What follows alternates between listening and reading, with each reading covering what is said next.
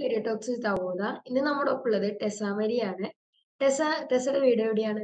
എന്റെ വീട് പിറവം ഓക്കെ. അവോദിൽ എന്ത് കോഴ്സാണ് ടെസ് എടുത്തിരുന്നത്? Travel and tourism. ഓക്കെ. അവോദിൽ ട്രാവൽ ആൻഡ് ടൂറിസം എടുക്കാനുള്ള കാരണം എന്താണ്? ടൂറിസം പഠിക്കണം ഇൻട്രസ്റ്റ് ഉണ്ടായിരുന്നു അപ്പോൾ എടുത്തു. ആ, അവോദിൽ ട്രാവൽ ആൻഡ് ടൂറിസം എടുക്കണേ മുന്നേ എന്താണ് ടെസ് ചെയ്തിരുന്നത്? ഞാൻ പ്ലസ് ടു കഴിഞ്ഞതേ ഉള്ളൂ. ഏതായിരുന്നു? ഞാൻ കൊമേഴ്സ് ആയിരുന്നു.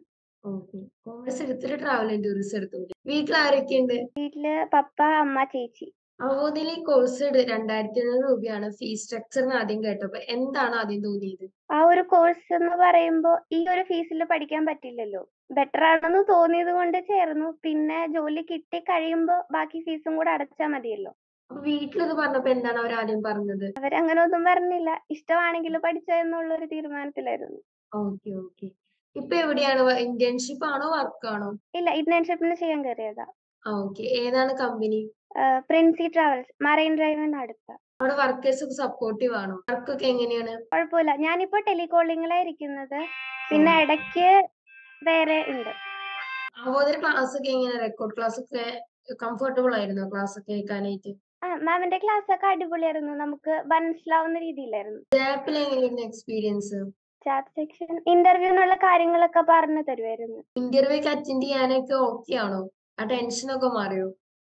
ആ ഫസ്റ്റ് ടൈം ഒക്കെ പേടിയായിരുന്നു. അവിടെ ചെല്ലുമ്പോ ചോദിക്കുന്നത് അടിക്കുമായിരുന്നു പിന്നെ ആ. കുഴപ്പമുണ്ടായിരുന്നു അവോദിൽ ഈ പഠിച്ചത് ഇപ്പൊ ആറു മാസം കൊണ്ടാണല്ലോ കോഴ്സ് കംപ്ലീറ്റ് ചെയ്തത്.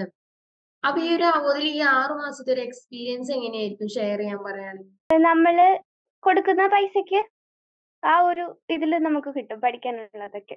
Okay okay. അവോദിൽ ഈ കോഴ്സിനെ കുറിച്ച് എങ്ങനെയാണ് ആദ്യം അറിഞ്ഞിരുന്നത് ടെസ ഞാൻ ഇങ്ങനെ യൂട്യൂബിൽ നോക്കി കഴിഞ്ഞപ്പോ കണ്ട് കോണ്ടാക്ട് ചെയ്തതാ.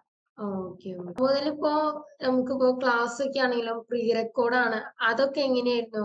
ഇൻട്രസ്റ്റഡ് ആയിരുന്നോ കേൾക്കാനാണെങ്കിലും ഒക്കെ? ആ കുഴപ്പമില്ല. അപ്പോ ഇത്ര നേരം ഞങ്ങൾക്ക് വേണ്ടി സ്പെൻഡ് ചെയ്തതിന് thank you thank you for joining career talks തവോദ